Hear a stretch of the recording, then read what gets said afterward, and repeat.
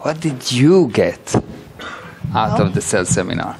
One of the things that I got most out of the sales seminar is that when I really decide that I want to help someone, hmm. the information flows freely when I come from that place.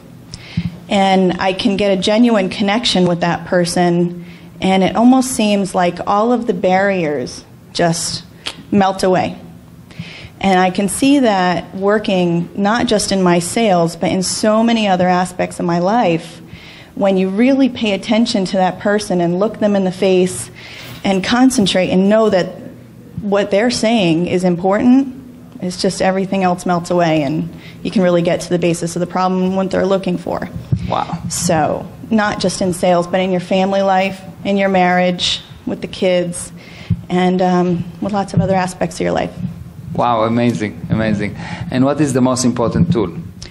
I think that the tone scale for me was really important. Yeah. Because I think that once you can emulate where that person is coming from, and you can either bring them up or bring them down to where it's best for the whole situation, it just it's going to make it a lot easier. Amazing.